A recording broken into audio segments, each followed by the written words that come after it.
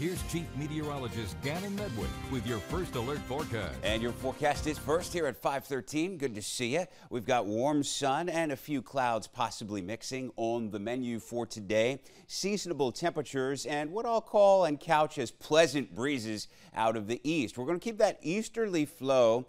Uh, if it doesn't go down to zero, which it tends to do at night on the mainland, but that easterly flow backing in some moisture from the Atlantic. So we're trending a bit muggier with time, but I think we keep it dry as far as our skies for Friday to wrap up the work and school week. So overall, same kind of flavor. Here's your 3 p.m. Eastern U.S. cloud future radar model. So you pick out our corner decently sunny. A few clouds have a seat at the table, but some showers and storms, the rain clouds, that part is to the west. A bit of a low pressure you can kind of see chugging through the Tennessee and Ohio River valleys. And so we just chugged through 24 hours of time, and you notice we're still in a dry pocket here in the Cape Fear region, certainly, but almost all of the eastern Carolinas collectively.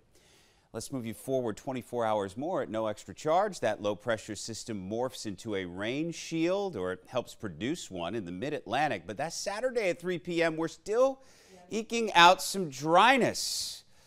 And you'll see that reflected in your seven day forecast coming up. We'll also showcase Mom's Day front and center. Let's get you outside in the meantime with your West Shore Home First Alert Skycam from Oliver's on the Cape Fear, Southport. Checking out Oak Island Light. You see it gleaming at us. There's a glimmer in the distance over the intracoastal at Caswell Beach. Let's move to the Murchison Building view in downtown Wilmington. It's a nice view of front and Princess, mostly clear and 60 degrees. The latest observation from ILM Airport. It's been interesting to see if the airport manages to wiggle into the uh, 50s. It's on the precipice right now. A northeast breeze, the latest observation, very modest uh, modest 6 miles an hour.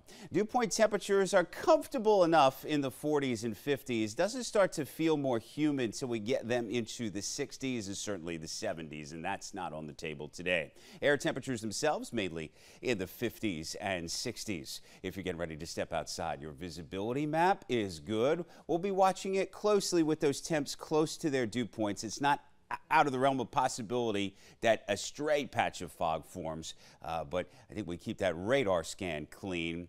Hope you keep your sinuses clean with the grass pollen going gangbusters as it usually does at this point. That's your Thursday allergy report. Various grasses. We're at the intersection of a lot, a lot of things that grow. Here's your three, expanding to seven day planning forecast. A little more of a summery flavor for Mom's Day weekend. Can't rule out a shower or storm, but I think a lot of dry time.